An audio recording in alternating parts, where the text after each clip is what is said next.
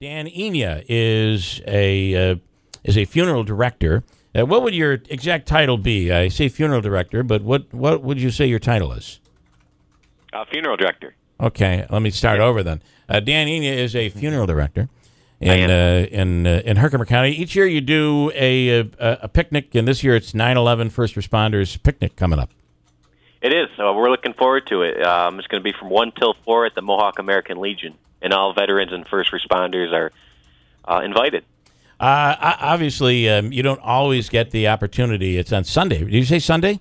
It's on Sunday, So and this is year right it's on- more memorable because Right. it's on 9/11. Yeah, I mean, normally you hold it on the weekends, and the weekend, uh, you know, 9 11 happens sometime during the week, but here it's specifically on 9 11, which I think is uh, is big. Explain how it all works for, uh, for first responders and for veterans and anybody that wants to attend.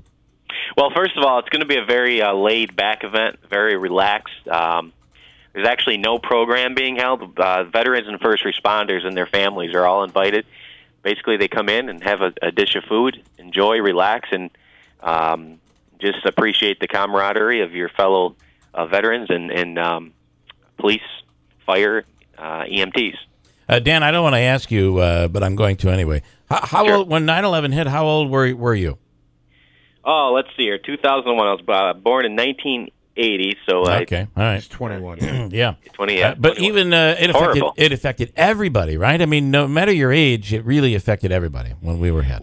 It was. Uh, Being a funeral director, I mean, you um, you get kind of numb to things, but not Mm. insensitive. And um, uh, I mean, even funeral directors were, you know, peop, uh, people in our profession were devastated by what happened, and uh, just as uh, like everybody else. Yeah, yeah. Horrible, horrible day. Yeah, and to see the the pictures, some of the pictures you didn't want to see, but some of that stuff we saw live. We saw it live on television. And yeah, that this- that was the tough part, just seeing um, uh, what you're talking about. yeah, yeah.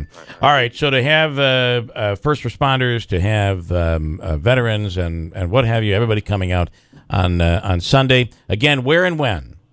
Uh, Mohawk American Legion from one till four. Um, and this year we're actually having a free chicken barbecue while while they last. Uh, my friend Thad Lucas uh, really taking uh, the bull by the horns on this.